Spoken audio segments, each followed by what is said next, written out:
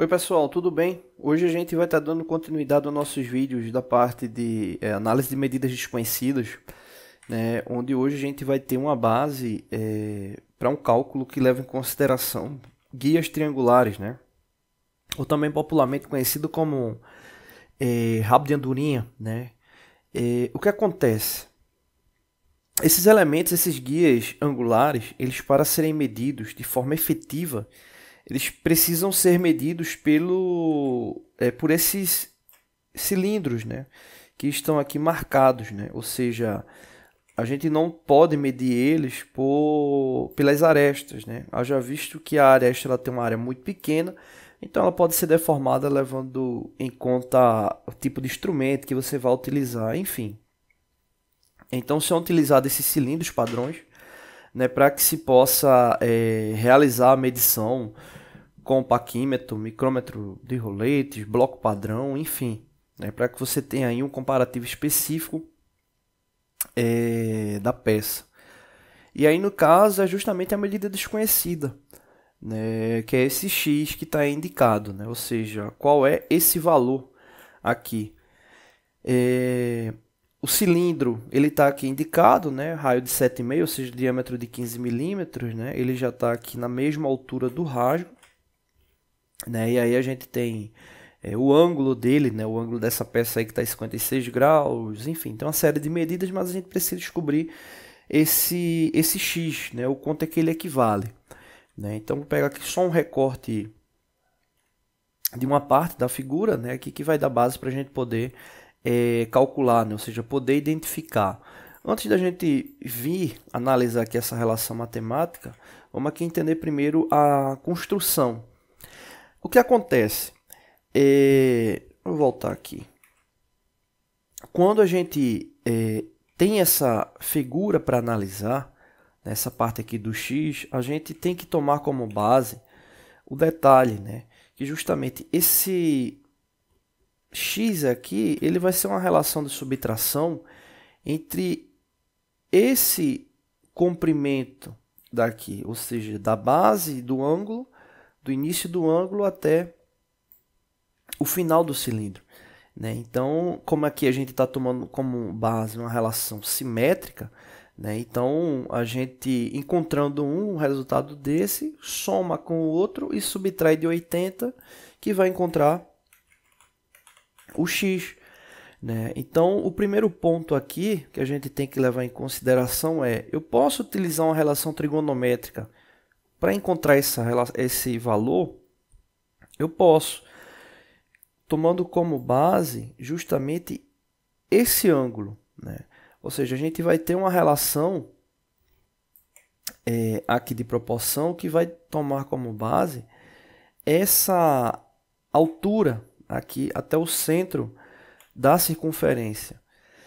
É, como esse ângulo está tangente aqui ao, ao elemento, né, a gente tem como, e, tem como tomar como base aqui o centro dele, para justamente descobrir esse, essa relação trigonométrica. Né, e aqui a altura dele também está com a mesma altura, é, a altura desse guia está na mesma altura da esfera. Né? Então é sempre importante analisar esses casos para ver qual a relação geométrica que a gente pode utilizar. Nesse caso, a gente tem como utilizar uma relação trigonométrica. Porque se esse círculo aqui ele tem 15, né, 15 milímetros é o diâmetro dele, eu posso tomar como base aqui o centro dele e traçar um triângulo como esse aqui. Eu posso traçar isso aqui para ele. Então aqui eu já tenho uma relação de altura para ele. E como eu tenho uma relação aqui de altura, eu também tenho uma relação angular para ele aqui, que seria justamente a metade né, desse ângulo. Aí, ou seja, 56 graus é, dividido por 2, né? ou seja, a gente teria aqui uma relação para é, 28 graus. Né? Então, eu já teria é, essa base aqui. Então, seria uma relação trigonométrica possível, onde eu, eu tenho o ângulo e tenho altura, no caso 15, a metade vai ser 7,5. Né? E justamente, se eu encontrar esse cateto aqui, deixa eu marcar aqui de novo. Se eu encontrar esse cateto aqui, que é esse comprimento aqui, eu sei que como ele está indo até a metade da circunferência, se eu descobrir esse valor aqui, vou chamar ele aqui de, de x. Se eu descobrir esse x aqui, ou oh, chamar ele de y. Se eu descobrir esse y aqui, eu tenho como somar com a metade da circunferência, ou seja, o raio, e vou ter esse valor aqui total. Sabendo esse valor total, multiplico por 2, subtraio de 80, vou encontrar o x. Então, é essa relação trigonométrica que a gente vai trabalhar. Então, a gente tem essa... É, fiz aqui essa relação matemática, onde a gente vai ter o seguinte. O x, quem vai ser o x? Vai ser o, esse L aqui é o comprimento total, que no caso é 80, né? ou seja, a gente vai ter 80 menos duas vezes o cateto adjacente. Né? Por que duas vezes o cateto adjacente? Quando a gente for calcular ele, a gente não vai encontrar esse comprimento aqui. Esse comprimento aqui é o cateto adjacente. Por que duas vezes? Porque ele é simétrico. Ele tem de um lado e tem do outro. Menos duas vezes o raio. Por que menos duas vezes o raio? Quando a gente encontrar o cateto adjacente, para chegar nessa parte que vai tocar no x, é o raio. Só que no caso a gente tem raio de um lado, raio do outro, né? então vai dar duas vezes r. Tá bom? É nesse caso aqui a gente poderia chamar aqui também de diâmetro, né? já que duas vezes o raio vai dar igual ao valor do diâmetro, né? mas vamos deixar aí 2r mesmo. Tá bom? Bom, seguindo a, a sequência aqui. O raio a gente já sabe que é 7,5, né? então substituindo aqui o r por 7,5, 2 vezes 7,5 vai dar 15. Né? E dando continuidade, o L também a gente já sabe quanto é, que é 80. Então, o nosso grande detalhe vai ser essa parte aqui, que é o cateto adjacente. Né? Então, se a gente for observar, o que é que acontece? Se a gente for tomar como base uma relação trigonométrica, a gente já sabe que é tangente, porque é cateto oposto em relação ao cateto adjacente, ou seja, regra para tangente. A gente já tem um cateto oposto, que é aquela altura até a metade do, do, do diâmetro, né? ou seja, o raio. Então, nesse caso, é 7,5. Dividido por quem? Pelo cateto adjacente, que é o que a gente quer saber. Então, 7,5 dividido pelo cateto adjacente vai dar igual a relação da tangente de 28 graus.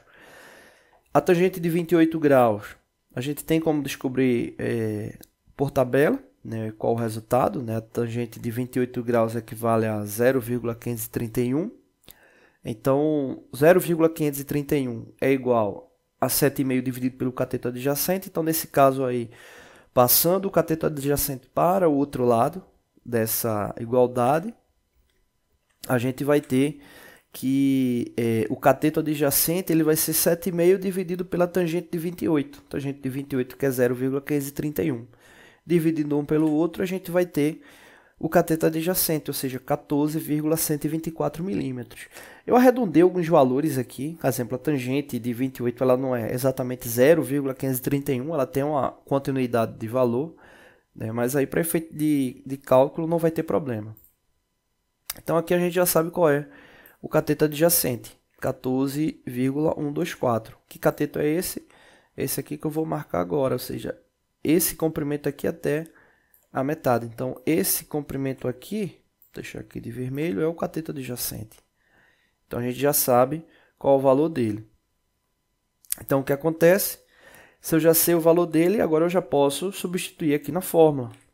Né? Então, substituindo na fórmula, é, o cateto adjacente é 14,24, vezes 2 vai dar 28,48.